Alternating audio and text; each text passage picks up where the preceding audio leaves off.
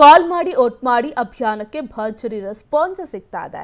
ಮಳವಳ್ಳಿ ವಿಧಾನಸಭಾ ಕ್ಷೇತ್ರದ ಚುನಾವಣಾ ಪೂರ್ವ ಸಮೀಕ್ಷೆಯನ್ನ ನಿಮ್ಮ ಪಾವತಿ ಈಗ ನಡೆಸ್ತಾ ಇದೆ. ಬೆಳಗ್ಗೆ ಒಂಬತ್ತು ಮೂವತ್ತರಿಂದ ಆರಂಭ ಆಗಿದೆ.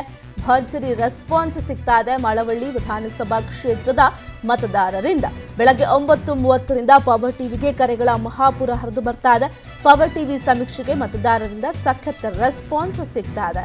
ನಿರಂತರವಾಗಿ ಕಾಲ್ ಮಾಡಿ ಮಳವಳ್ಳಿ ವಿಧಾನಸಭಾ ಕ್ಷೇತ್ರದ ಮತದಾರರು ತಮ್ಮ ಅಭಿಪ್ರಾಯವನ್ನು ತಿಳಿಸುತ್ತಿದ್ದಾರೆ ಕಾಂಗ್ರೆಸ್ನಿಂದ ಪಿ ನರ್ಸ್ ಪಿ ನರೇಂದ್ರ ಸ್ವಾಮಿ ಮಲ್ಲಾಜಮ್ಮ ಹೆಸರಿನಲ್ಲಿ ಮತದಾರರು ಕಾರ್ಯನ ಮಾಡ್ತಿದ್ದಾರೆ. ನಿರಂತರವಾಗಿ ಕರೆ ಮಾಡಿ ಮಳವಳ್ಳಿ ವಿಧಾನಸಭಾ ಕ್ಷೇತ್ರದ ಚುನಾವಣಾ ಪೂರ್ವ ಸಮೀಕ್ಷೆ, ಅಲ್ಲಿನ ಮತದಾರರು ಕಾಲ್ ಮಾಡಿ ಭರ್ಜರಿ ರೆಸ್ಪಾನ್ಸ್ ಸಿಗ್ತಾ ಇರುವಂತದ್ದು ಕಾಲ್ ಮಾಡಿ ಓಟ್ ಮಾಡಿ ಅಭಿಯಾನಕ್ಕೆ.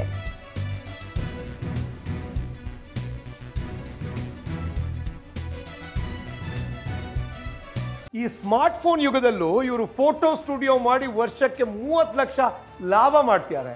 ನೀವು ಮಾಡಬೇಕಾ? ಅವರಿಂದ ಕಲಿಬೇಕಾ? ಫ್ರೀಡಮ್ ಆ್ಯಪನ್ನು ಈಗಲೇ ಡೌನ್ಲೋಡ್ ಮಾಡಿ. ಎಸ್ ಈ ಕುರಿತು ವಿಶ್ಲೇಷಣೆ ನೀಡ್ತಾರೆ. ನಮ್ಮ ಔಟ್ಪುಟ್ ಎಡ್ ಆದಂಥ ಸುರೇಶ್ ಬಾಬು ಅವರು. ಸುರೇಶ್ ಸರ್, ಈಗ ನಾವು ನೋಡ್ತಿದ್ದೀವಿ ಈಗಾಗಲೇ ಮಳವಳ್ಳಿ ಇವತ್ತು ಕಾಲ್ ಮಾಡಿ ಓಟ್ ಮಾಡಿ ಅಭಿಯಾನದ ಕ್ಷೇತ್ರ. ಭರ್ಜರಿ ರೆಸ್ಪಾನ್ಸ್ ಕೂಡ ಸಿಗ್ತಾ ಇದೆ. ಸೊ, ಅಲ್ಲಿನ ಅಭ್ಯರ್ಥಿ, ಪಕ್ಷ ಇದೆಲ್ಲದರ ಬಗ್ಗೆ ವಿವರವಾಗಿ ತಿಳಿಸೋದಾದ್ರೆ. ಎಸ್ ವಿದ್ಯಾ, ಮಂಡ್ಯ ಅಂತಂದ್ರೆ ಇಡೀ ಇಂಡಿಯಾ ನೋಡುವಂಥ ಒಂದು ಜಿಲ್ಲೆ. ಯಾಕಂದ್ರೆ ಅಷ್ಟರ ಮಟ್ಟಿಗೆ ರಾಜಕೀಯ ಜಿದ್ದಾಜಿದ್ದಿ ಈ ಒಂದು ಮಂಡ್ಯ ಜಿಲ್ಲೆಯಲ್ಲಿ ಯಾವಾಗಲೂ ಕೂಡ ಕಂಡು ಬರುತ್ತೆ. ಅದರಲ್ಲೂ ಕೂಡ ಜೆ ಡಿ ಎಸ್ನ ಒಂದು ಭದ್ರಕೋಟೆ ಮಂಡ್ಯ ಜಿಲ್ಲೆ, ಯಾವಾಗಲೂ ಕೂಡ ಜೆ ಡಿ ಎಸ್ನವರ ಒಂದು ಆದ್ಯತೆ ಮಂಡ್ಯ ಜಿಲ್ಲೆ ಆಗಿರುತ್ತೆ ಮತ್ತು ಹೆಚ್ಚಿನ ಸ್ಥಾನಗಳು ಗೆಲ್ಲೋದು ಕೂಡ ಸಾಕಷ್ಟು ತಂತ್ರಗಾರಿಕೆಯನ್ನು ಕೂಡ ಮಾಡ್ತಿರ್ತಾರೆ ಶಾಸಕರು ಕೂಡ ಇದ್ದಾರೆ. ಈಗಾಗಲೇ ಮಳವಳ್ಳಿ ವಿಧಾನಸಭಾ ಕ್ಷೇತ್ರದ ಬಗ್ಗೆ ನಾವು ಮಾತನಾಡೋದಾದರೆ, ಮಳವಳ್ಳಿ ವಿಧಾನಸಭಾ ಕ್ಷೇತ್ರದಲ್ಲಿ ಕೂಡ ಜೆ ಡಿ ಎಸ್ನ ಶಾಸಕರು ಇರ್ತಕ್ಕಂಥ ಕ್ಷೇತ್ರ ಡಾಕ್ಟರ್ ಅನ್ನದಾನಿ ಅವರು ಶಾಸಕರಾಗಿದ್ದಾರೆ. ಇಲ್ಲಿ ಇಲ್ಲಿ ಯಾವಾಗಲೂ ಕೂಡ ಜೆ ಡಿ ಎಸ್ ಮತ್ತು ಕಾಂಗ್ರೆಸ್ ನಡುವೆ ಪ್ರಬಲ ಪೈಪೋಟಿ ಇರೋದನ್ನು ನಾವು ನೋಡ್ತಾ ಬಂದಿದ್ದೇವೆ.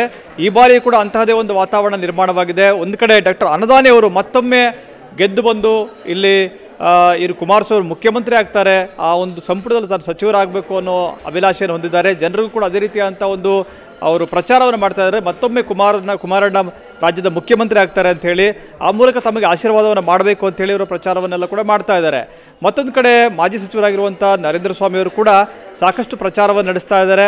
ಹಿಂದೆ ಪಕ್ಷೇತರವಾಗಿ ಕೂಡ ಅವರು ಗೆದ್ದಿದ್ರು ಮಂತ್ರಿ ಕೂಡ ಆಗಿದ್ದರು ಈಗ ಕಾಂಗ್ರೆಸ್ನ ಅವರು ಸ್ಪರ್ಧೆ ಮಾಡೋದಕ್ಕೆ ರೆಡಿಯಾಗಿದ್ದಾರೆ ಮತ್ತೊಂದು ಕಡೆ ಇಲ್ಲಿ ಕರೆಗಳ ಮಹಾಪುರನೇ ಬರ್ತಾ ಇದೆ. ಪವರ್ ಟಿ ವಿ ನಡೆಸ್ತಾ ಇರುವಂಥ ಒಂದು ಸಮೀಕ್ಷೆ ಅಭಿಯಾನ ಏನಿದೆ? ಕಾಲ್ ಮಾಡಿ ಓಟ್ ಮಾಡಿ ಸಮೀಕ್ಷೆಯಲ್ಲಿ ಸಾಕಷ್ಟು ಜನ ಕರೆಗಳನ್ನು ಮಾಡ್ತಾ ಇದ್ದಾರೆ ಮಳವಳ್ಳಿ ವಿಧಾನಸಭಾ ಕ್ಷೇತ್ರದಿಂದ. ಮಲ್ಲಾಜಮ್ಮ ಅವರ ಹೆಸರನ್ನು ಕೂಡ ಇಲ್ಲಿ ಪ್ರಸ್ತಾಪ ಮಾಡ್ತಾ ಇರೋ ಮಾತುಗಳಿದೆ. ನಾವು ನೋಡ್ತಾ ಹೋಗೋಣ ಹೇಗಿದೆ ಆ ಒಂದು ರೆಸ್ಪಾನ್ಸ್ ಅಂತೇಳಿ ಇಲ್ಲಿ ಪ್ರತಿನಿಧಿಗಳು ಈಗಾಗಲೇ ಏನು ಕರೆಗಳನ್ನು ಸ್ವೀಕರಿಸ್ತಾ ಇದ್ದಾರೆ, ಅದನ್ನು ನಾವು ಪಟ್ಟಿಯನ್ನು ಗಮನಿಸಿದ ಸಂದರ್ಭದಲ್ಲಿ ಮತ ಪ್ರಮಾಣ ಯಾವ ರೀತಿ ದಾಖಲಾಗ್ತಿದೆ, ಯಾವ ರೀತಿ ಸ್ಪರ್ಧೆ ಅಂತ ನೋಡ್ತಾ ಹೋದರೆ ಇಲ್ಲಿ ನಾವು ನೋಡ್ತಾ ಇದ್ದೇವೆ ಬಿ ಜೆ ಪಿ ಅಷ್ಟಕ್ಕೆ ಅಷ್ಟಕ್ಕಷ್ಟೇ ಇದೆ. ಕಾಂಗ್ರೆಸ್ ಮತ್ತು ಜೆ ಡಿ ಎಸ್ ನಡುವೆ ಪ್ರಬಲ ಪೈಪೋಟಿ ಇರೋದನ್ನು ನಾವಿಲ್ಲಿ ಗಮನಿಸ್ಬೋದು. ಹಾಗೆಯೇ ಇಲ್ಲೂ ಕೂಡ ನಮ್ಮ ಪ್ರತಿನಿಧಿ ಕರೆಗಳನ್ನು ಸ್ವೀಕರಿಸಿ ಮತ ಪ್ರಮಾಣವನ್ನು ದಾಖಲು ಮಾಡ್ತಾ ಇದ್ದಾರೆ. ಯಾರಿಗೆ ಮತ ಹಾಕ್ತಿದ್ದಾರೆ ಜನ ಅಂಥೇಳಿ ಇಲ್ಲಿ ಕೂಡ ನಾವು ನೋಡಿ ಸಂದರ್ಭದಲ್ಲಿ ಕಾಂಗ್ರೆಸ್ ಮತ್ತು ಜೆ ಡಿ ಎಸ್ ನಡುವೆ ತುರುಸಿನ ಪೈಪೋಟಿ ಇದೆ. ಇತರರಾಗಿರ್ಬೋದು ಅಥವಾ ಬಿ ಜೆ ಪಿ ಪರವಾಗಿ ಅಷ್ಟೊಂದು ಒಲವು ಇಲ್ಲಿ ಕಂಡು ಬರ್ತಾ ಇಲ್ಲ. ಹೀಗೆ ಸಾಕಷ್ಟು ಕರೆಗಳನ್ನು ಸ್ವೀಕಾರ ಮಾಡ್ತಾರೆ ನೋಡಿ, ಇಲ್ಲಿ ಕೂಡ ಗಮನಿಸ್ಬೋದು.